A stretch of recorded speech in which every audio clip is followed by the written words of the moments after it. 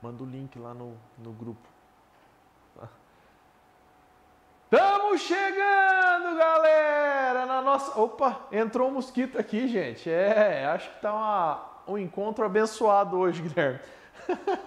Sejam muito bem-vindos ao nosso encontro que não foi ontem, porque era feriado. Muitos dentistas pediram para a gente trazer hoje, porque tinham um encontro com a família, alguma outra coisa. Mas hoje saiu, saiu a tão esperada aula como transformar seguidor em paciente particular. E eu dei esse tema aqui porque tem muita gente que acha que seguidor vai se materializar na sua clínica e vai se transformar num paciente particular assim, ó.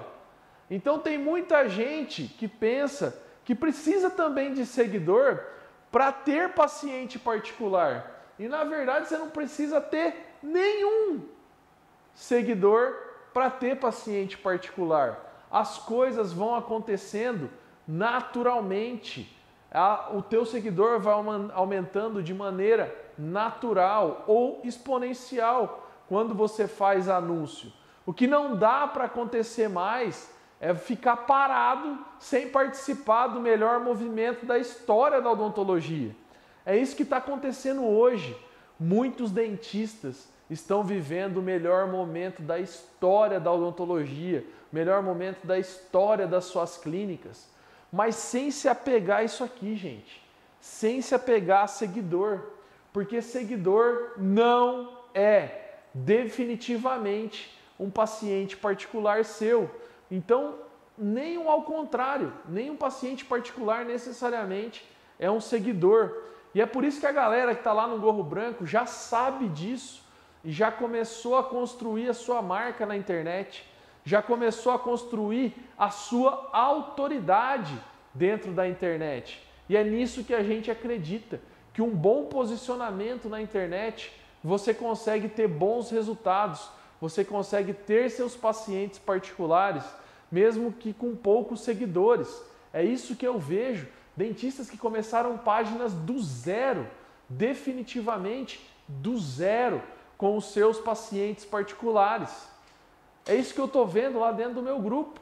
É isso que eu vejo os dentistas. É ter os seus pacientes particulares e iniciando os seus pacientes particulares dentro da clínica. Bom, o que, que eu digo aqui dentro? Eu não estou vendo que o Guilherme está mexendo um monte de coisa. O que você quer fazer? Então passa para cá. Passa logo. Quer passar aqui? Vocês têm noção do jeito que o Guilherme fica aqui, gente. Passa em 500 lugares, vai para lá, vai para cá. E a gente não concentra na aula, mas daqui a pouco ele senta lá e a gente consegue concentrar. Posso ir?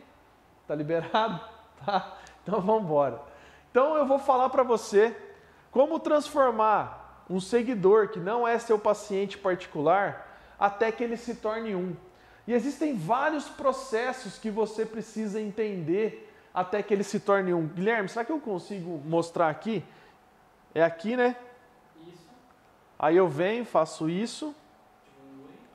Nossa, Guilherme ah, do céu, ó. Então, como é que eu transformo um paciente de seguidor particular até que ele se torne um? O que, que eu quero mostrar para vocês? Existe uma coisa dentro da odontologia chamada funil de venda. Que todo dentista precisa saber o que é isso. Essa aqui é a nossa quarta aula, onde eu detalho para vocês todas as etapas do funil de venda. Lógico, quem está lá no gorro branco já sabe o como funciona o funil de venda, a maneira que eu acredito funcionar um funil de venda na odontologia. O que eu vou fazer aqui hoje é trazer uma ideia para vocês, trazer uma noção do que a gente entrega lá dentro do nosso método para vocês. Então, o que é um funil de venda? Aqui existe os teus pacientes. Vou desenhar aqui, Guilherme, ó. O que, que você achou?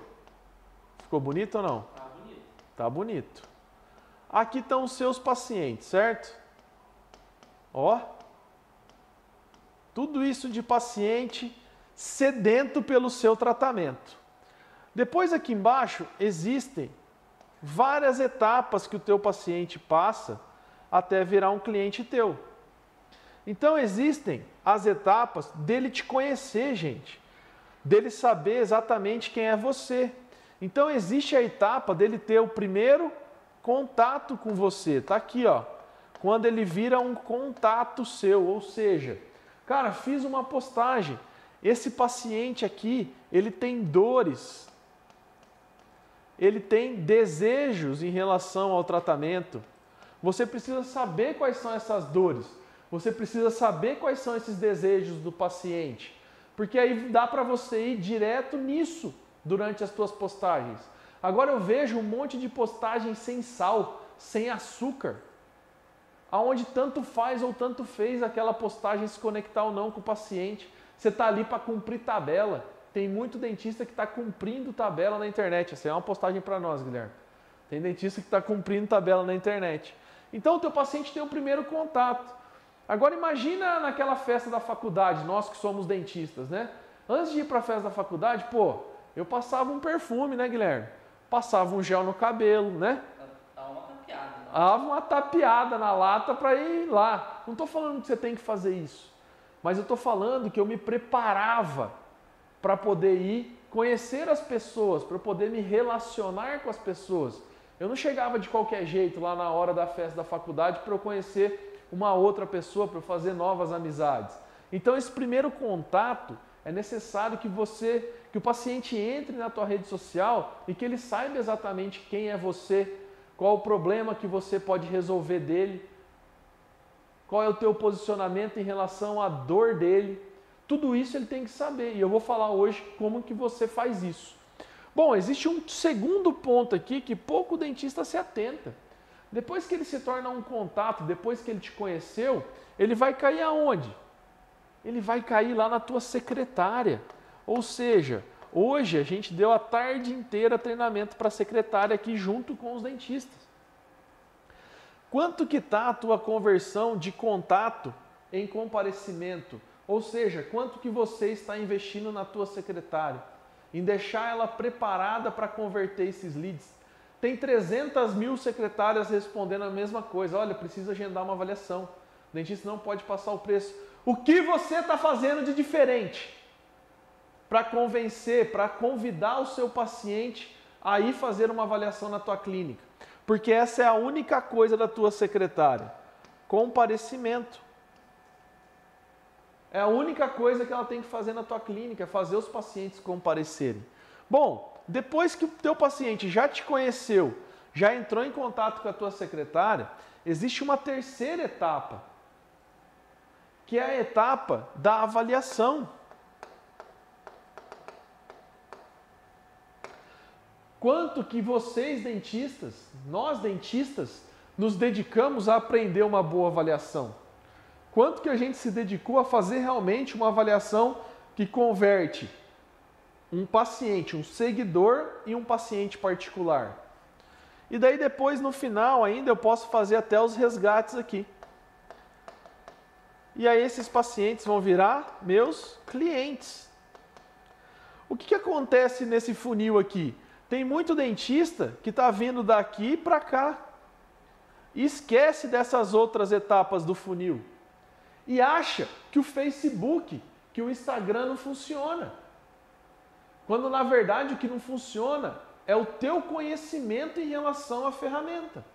É o quanto você se aprofundou no conhecimento. E por isso, lá no Gorro Branco, a gente dá toda essa base para o dentista poder ter esse conhecimento. Porque como que a gente aprende na faculdade? Primeiro a gente aprende os princípios.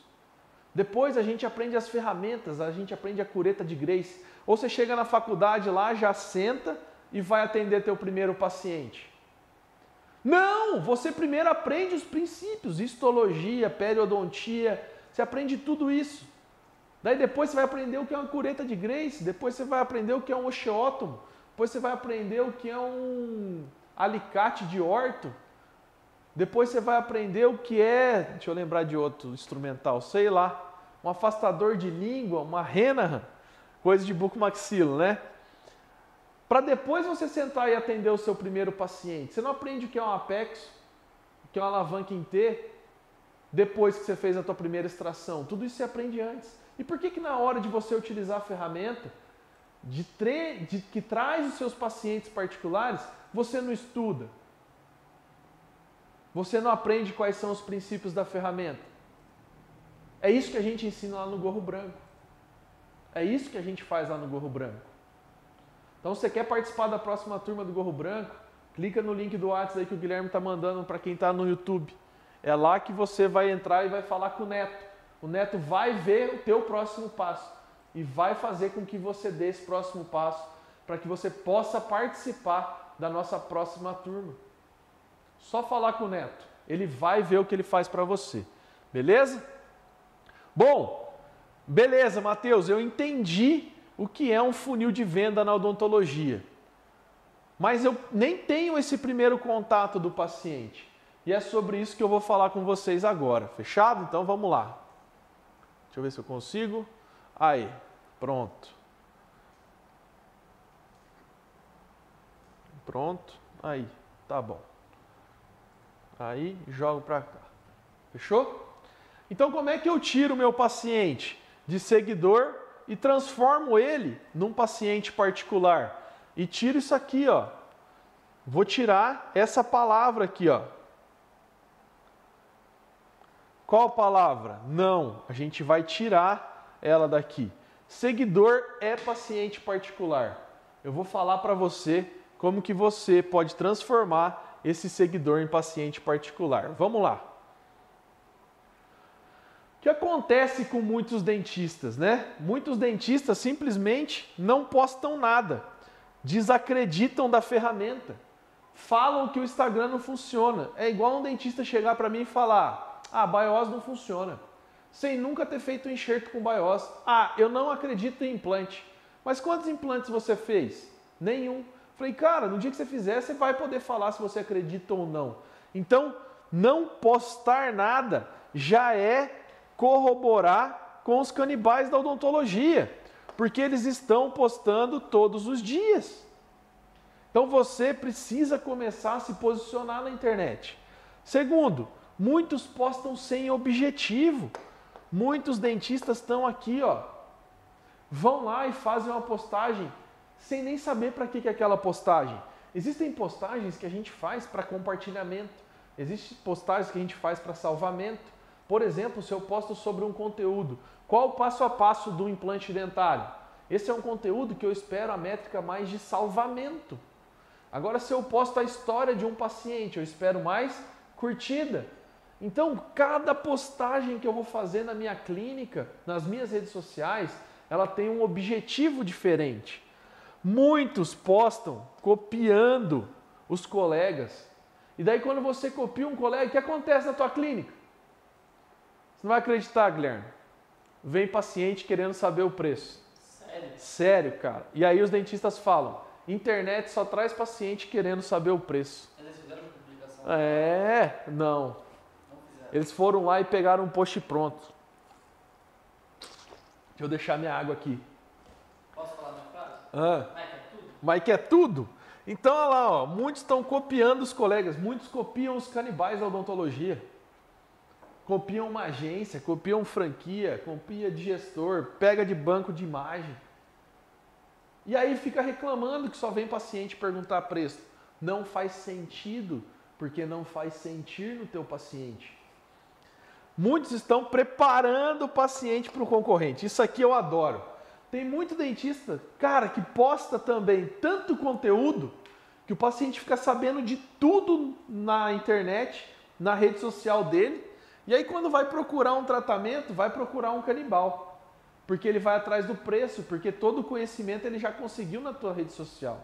Então, entender essa estratégia, para que, que serve o feed, para que, que serve o Rios, para que, que serve o GTV, para que, que serve os stories, para cada uma dessas mídias a gente tem um porquê de utilizá-lo. E é sobre isso que eu quero falar com vocês hoje. Então, não postar nada, você já está ajudando os dentistas a se ferrarem, né? Muitos postam sem objetivo, muitos postam copiando, muitos postam preparando para o concorrente. Beleza, Matheus, eu entendi. Mas então o que, que eu faço, cara? Você está falando um monte de coisa que eu não posso, mas realmente qual é a solução para essas postagens? Vamos lá que eu vou falar sobre isso com vocês. E hoje eu queria começar falando pela principal ferramenta que o Instagram dá. Lembra que eu desenhei o funil de venda? Para eu transformar alguém que não me conhece em alguém que eu conheço, que me conheça, eu preciso cuidar do meu feed. E lá dentro do Gorro Branco eu dou várias postagens, vários modelos de postagem que vocês podem fazer, que vocês podem atrair o seu paciente particular. E hoje eu trouxe alguns exemplos, um pedacinho para vocês aqui. Então o feed, o que é o feed, gente? É quando a gente abre o Instagram e rola. O feed é aquela, aquele monte de notícia, de foto que a gente vê lá. Isso é o feed. Então o feed, gente, ele é igual a crescimento. É o feed de notícias que faz você crescer as suas redes sociais. Essa é a parte que mais faz crescer o seu Instagram. Se você tiver um bom feed, você vai crescer ele de uma maneira muito mais rápida. Bom, e o que é o feed? A gente tem que entender que o feed ele é como se funcionasse como a capa do livro do nosso Instagram. Ele tem um tempo de duração de engajamento de 24 horas. Mas toda vez que uma pessoa entrar no seu Instagram, o primeiro contato que ele vai ter com a tua marca é o teu feed. Mateus, eu preciso ter um feed bonito, organizado, com cores selecionadas por, sei lá, por caras que têm um olho de cada cor. Não, cara. Você precisa só ter um feed que diz para que veio. Você precisa ter um feed que te que dê a tua identidade, do que você acredita. Então eu vejo que muitos dentistas que são especialistas em implante, por exemplo, acabam postando ortodontia, acabam postando limpeza, acabam postando várias coisas. O feed, o feed basicamente o que você tem que responder é pelo qual, como você quer ser reconhecido na tua profissão. Essa postagem que eu vou fazer hoje, ela tem a minha cara, ela tem a ver com aquilo que eu acredito na minha odontologia? Sim ou não? Se a resposta for não, não faça essa postagem. Porque o feed é a capa do teu livro todos os dias. Ele permanece sempre que alguém visitar o teu perfil, gente. Então não dá para brincar com o feed de notícia. E ele é um conteúdo, olha lá o que eu pus, ó. Agora já dá para eu falar com vocês a respeito de funil. Ele é um conteúdo mais de topo e mais de meio de funil. O que, que é isso dentro da odontologia? Topo de funil é alguém que nunca te viu. Então vamos supor que na tua cidade nunca se falou de implante. E eu chego lá e fico falando: você quer fazer implante? Você quer fazer implante? Mas a pessoa nem sabe o que é um implante, nem por que ela precisa fazer um implante. Então eu posso fazer conteúdos mais de topo de funil no meu feed. O que, que é isso? Eu posso falar a solução para quem perdeu um dente a solução para quem perdeu todos os dentes. Você tem os dentes mole? Isso é um conteúdo de topo de funil. Agora eu chegar e falar, quer fazer um tratamento de protocolo? Isso é fundo de funil, não dá para eu fazer no feed. Porque não é aqui que a pessoa toma uma decisão sobre você. Bom, lá no meio de funil, o que é o meio de funil? Quantos implantes são necessários para fazer um protocolo? Esse é um conteúdo mais de meio de funil. Quantos implantes são necessários para eu fixar a minha dentadura? É um conteúdo que está de meio para topo. Então, quando eu faço as minhas postagens, eu preciso entender aonde eu quero estar dentro do meu funil. Qual é o objetivo daquela postagem? E tudo isso eu mostro detalhadamente dentro do Gorro Branco. Se você quer participar da próxima turma do Gorro Branco, clica aí e fala com o Neto, que o Neto vai te falar como você pode participar da próxima turma do Gorro Branco. Fechado? E quais são as cinco objeções que eu tenho para eu quebrar dentro do meu feed de notícia? Normalmente, por que, que as pessoas é, não fazem postagens que tragam um resultado para elas? Porque elas não quebram uma dessas cinco objeções universais. Todo paciente que chega lá dentro do teu feed, ele tem essas cinco perguntas. Será que esse tratamento é para mim? Olha aqui, ó. Será que isso é para mim? Será que isso é para mim agora? Eu vou me ferrar se eu comprar isso? Eu confio em quem está me vendendo? E por que está tão barato esse tratamento? Então, eu preciso fazer uma postagem que quebre essa objeção. Isso é para mim. Como é que eu faço uma postagem disso é para mim, Mateus? Vamos supor que eu poste uma foto com um paciente e escreva lá: muitos pacientes não acreditam que o tratamento de implantes é para ele. Mas olha o que a dona Maria disse no final do tratamento. E eu estou quebrando a objeção, isso é para mim. Como é que eu quebro a objeção, isso é para mim agora? Ela achou que poderia esperar mais 30 dias. Mas quando viu o resultado, se perguntou: por que, que não comecei antes? Ou seja, eu estou fazendo uma postagem sobre um produto que eu quero vender para um paciente que eu sei a dor e eu estou quebrando uma objeção. É uma postagem relevante para o meu paciente. Agora as outras três não vou falar não, né, Guilherme? Não. Não, porque daí já é demais, né? Aí, aí, aí é demais. É, mas tem quatro objeções que são da odontologia. Quais são as quatro objeções da odontologia?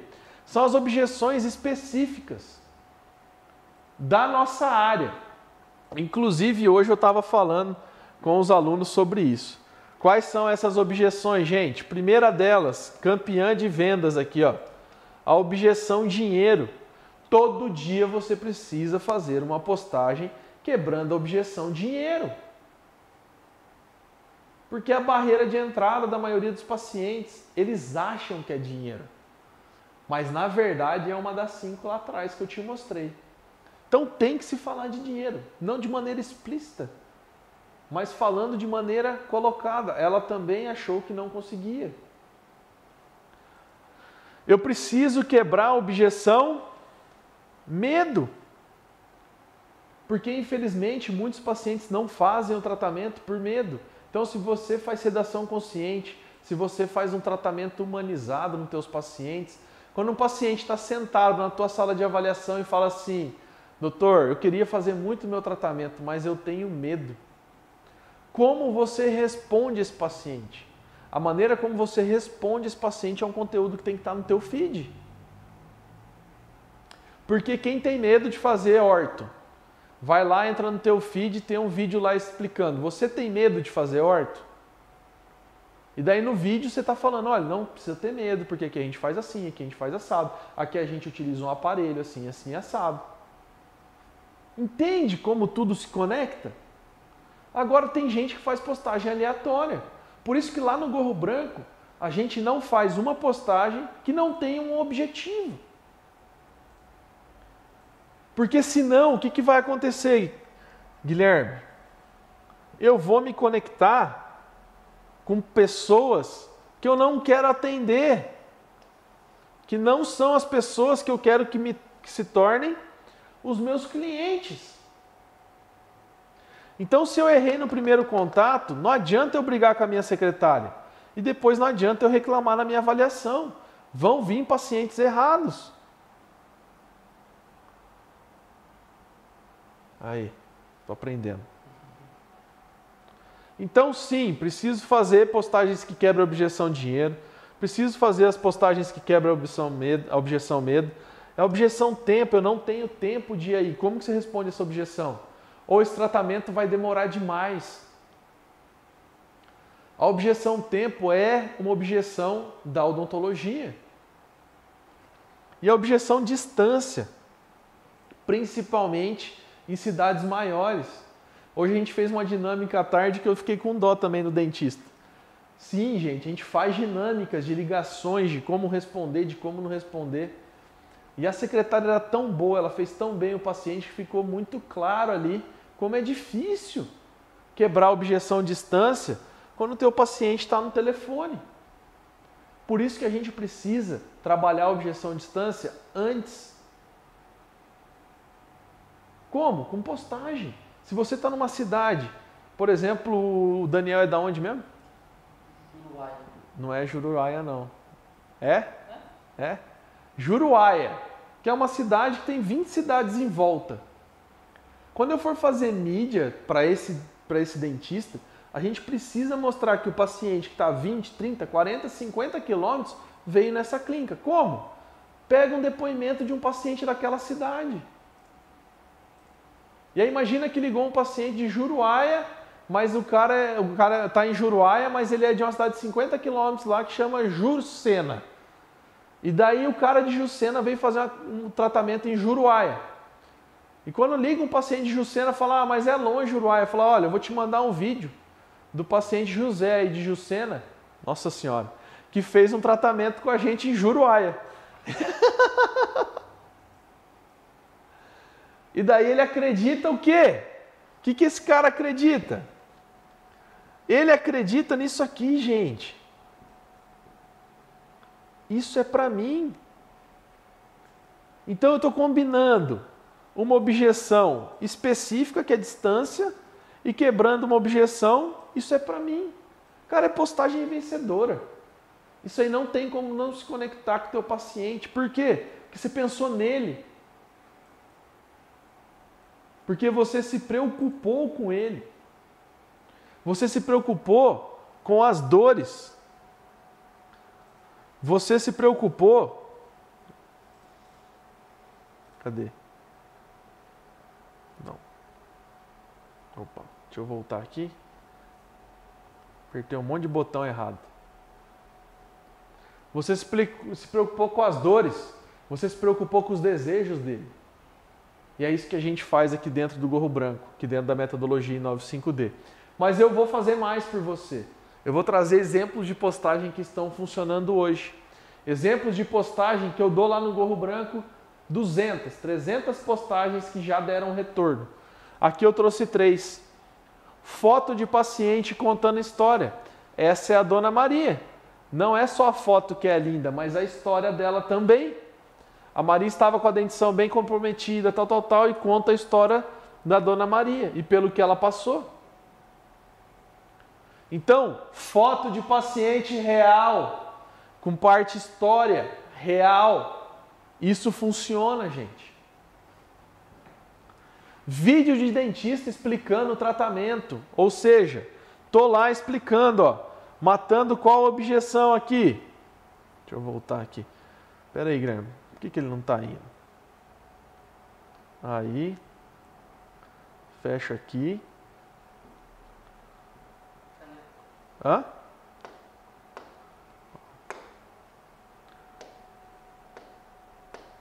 Tá vendo? Não sei porquê. Aí. Deixa eu voltar para cá. Tô me perdendo esse trem aqui. Bom, vídeo de dentista explicando o tratamento. Faça a sua cirurgia dormindo. Olha aqui como é que eu tô falando, quebrando qual objeção de quem tem medo de fazer seu tratamento, gente. O paciente que tem medo, ele vai olhar aqui e falar: caramba, cirurgia dormindo? Eu posso fazer isso? Fazer seus implantes dormindo seria um sonho? E eu vou explicar como que eu trato os pacientes que têm medo na minha clínica. E um terceiro exemplo que eu trouxe para vocês, uma vídeo de paciente quebrando objeção. Olha lá, implante dentário é muito caro? Então no vídeo ela explica como que é o implante dentário, se foi caro, se coube no bolso dela. Talvez tenha sido isso que você ouviu a vida toda. Talvez você nunca nem chegou a visitar um dentista. Talvez você ache que vai ser impossível. Talvez o implante dentário é um tratamento para pessoas com muito dinheiro. Não é isso que os pacientes aqui na minha clínica falam. Não é isso que acontece aqui na nossa clínica. Então eu mostro que é possível para outros pacientes também. Assim como é possível para você ter acesso a essas postagens lá dentro do gorro branco. Porque é isso que a gente ensina lá dentro do gorro branco. E o que, que é o gorro branco, gente? Ele faz parte da metodologia 95D, que são nove indicadores e cinco dimensões. Qual é a primeira dimensão? É a dimensão do coração. É onde a gente decide a direção da tua clínica. A segunda dimensão é a parte da cabeça, que é a parte diretiva. E aqui eu estou falando sobre a metodologia em 95D. Depois eu tenho a terceira dimensão, que é a parte comercial, onde a gente trabalha número de contatos, número de avaliações e número de fechamentos, ticket médio. Na quarta dimensão a gente trabalha o número de pacientes finalizados. Lá na quinta dimensão a gente trabalha a parte financeira, custo com dentista, com funcionário, com laboratório, que foi o encontro que a gente teve hoje, tá? Então, o gorro branco, o que ele vai fazer? Ele vai trabalhar os teus números de contato. vai fazer tocar o teu telefone, teu WhatsApp, chegar mensagens de paciente que seja que deseje a sua odontologia. É isso que a gente faz lá dentro do gorro branco. Depois do gorro branco, a gente tem o gorro amarelo, onde a gente aumenta o número de contatos, aumenta o número de avaliações e aumenta o número de fechamentos e aumenta o ticket médio, que é quanto um paciente gasta em média na tua clínica. Depois, a gente vai para o gorro verde, onde a gente trabalha toda a parte de gestão da clínica. No gorro marrom é onde a gente trabalha o número de pacientes finalizados. Hoje o Ioannis deu uma aula completa lá sobre ortodontia digital, foi sensacional. E o gorro preto, que é o nosso grupo de mastermind. Mas todo mundo começa aonde? Lá no gorro branco, gente, que é o nosso vestibular, tanto para vocês quanto para a gente. Quem participa do gorro branco tem acesso a estratégias de como ter os seus pacientes particulares todos os dias. É isso que a gente divide lá no Gorro Branco. E a nossa próxima turma começa agora, dia 1 de dezembro. Então você vai querer ter o teu final de ano como? Igual aos 11 meses do ano? Ou você vai querer ter o teu dezembro o melhor mês da sua história? Se a resposta for melhor mês da sua história, eu tenho compromisso de fazer esse o melhor mês da tua vida manda uma mensagem para o neto que ele vai entrar em contato com você. Fechado? Beleza? Vamos nessa? Vamos lá falar com o neto, ver quem fazer parte da próxima turma. Quem vai conseguir? Hã? Quem vai conseguir? Gente, um grande abraço e eu espero vocês. Valeu! Tchau!